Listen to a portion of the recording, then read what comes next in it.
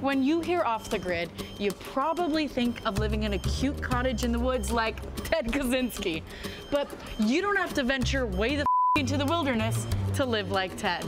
Meet Josh Spodek, astrophysicist, NYU professor, and real life Captain Planet. I used to empty my garbage weekly.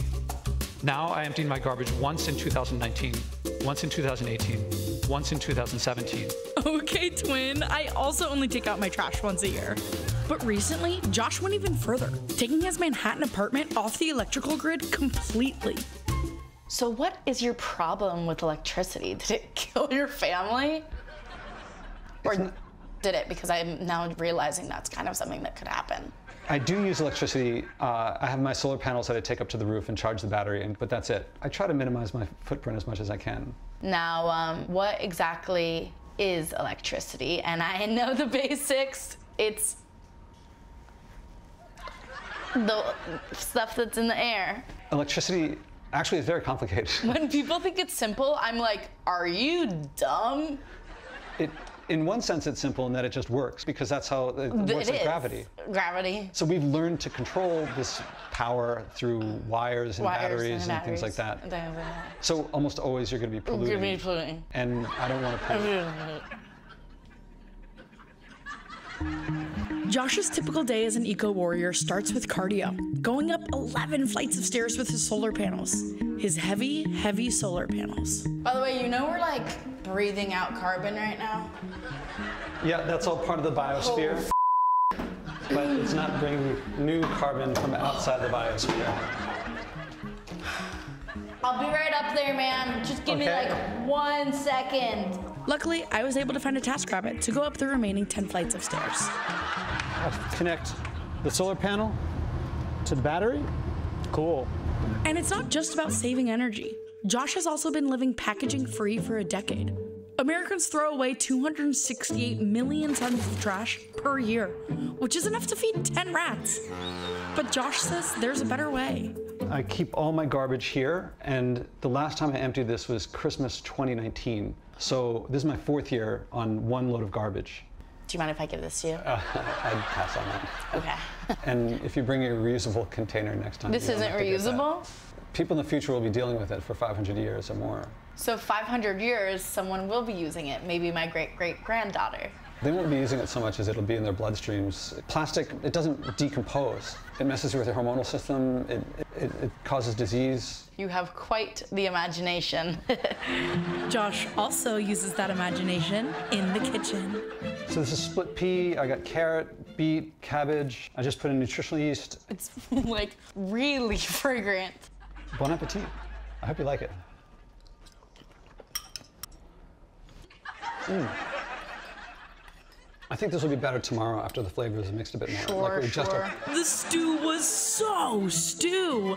And for dessert, a chunky kombucha to wash it all down.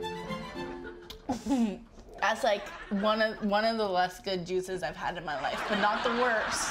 Yeah, so the fruit has sugar. and then, Mm, Sugar, that's what it's missing. Okay. Ay, ay, ay. I think there are places where Skittles were taken off the market for being so, unhealthy. That's so effed up, dude. Mhm. I don't know if that's liberal or conservative, but I do not F with it. This way of life seemed really difficult. How was Josh keeping himself going? So this lifestyle may look like deprivation and sacrifice to others, but for me, it's really about joy. Totally. You seem very joyful. People will say, you know, I compost, um, I recycle, and I do what I can, but I have to balance that with living my regular life. Right. That's usually what I'm saying to myself. And you think, why, do I have to think about every other person on the planet every That's time I do exactly anything? Exactly how I think. it's like you're reading my brain. But systemic change begins with personal change. I got to quote Abraham Lincoln here. Okay. Nothing damages you more than to do something that you believe is wrong.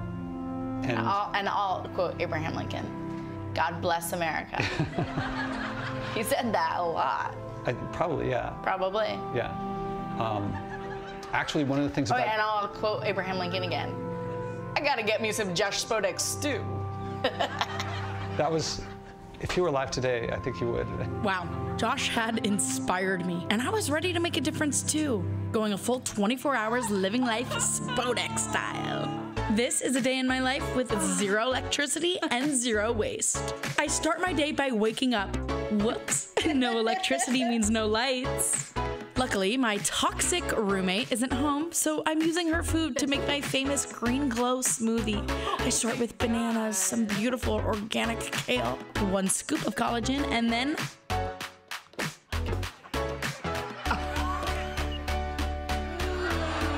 Next up, a trip to Pre-Cycle, a packaging free store where you bring your own containers. Good thing I always travel with my Tupperwares. Josh, if you're watching, check it out, man. I'm really doing this. Hello. So these are um, oats right here. And then last but not least, um, these, this flour. Sure, yeah. You can probably just weigh my whole hand just to make it a little bit easier. Okay.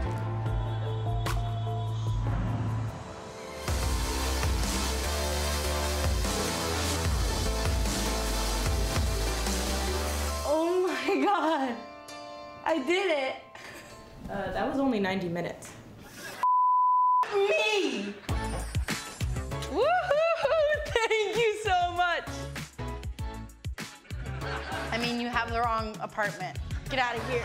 Little did I know, things were about to get really, really bad. 1%? You said you had 5% 10 minutes ago! F you! Okay. All good. All good. Me here with my thoughts. That's chill. I know what to do.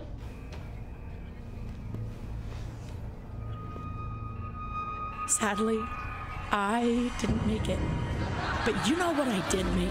A difference. And that's something they can never take away from me.